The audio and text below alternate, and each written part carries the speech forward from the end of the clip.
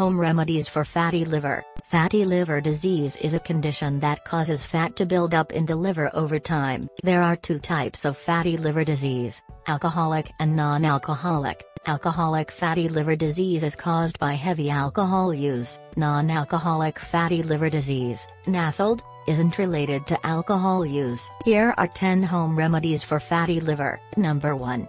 Lose excess weight.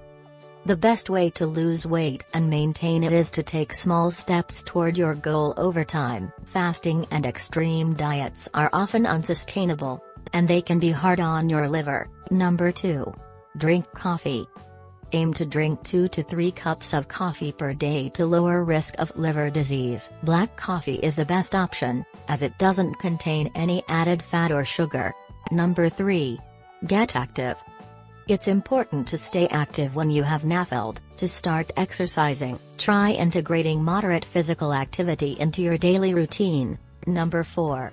Target high cholesterol.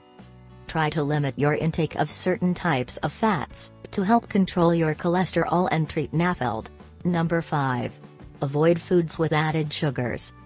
Dietary sugars such as fructose and sucrose have been linked to the development of NAFLD. Number 6.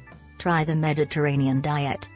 Study suggests that the Mediterranean diet may help to reduce liver fat, even without weight loss. The Mediterranean diet also helps treat conditions commonly associated with NAFLD, including high cholesterol, high blood pressure, and type 2 diabetes.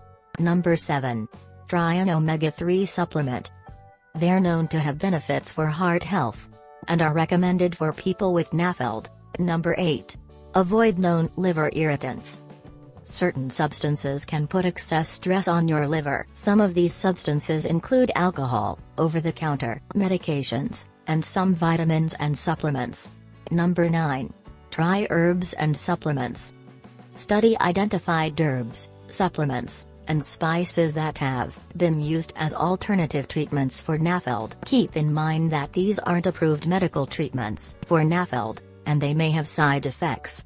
Number 10. Vitamin E supplements. Vitamin E is an antioxidant that may reduce inflammation caused by NAFLD. There are risks associated with this treatment,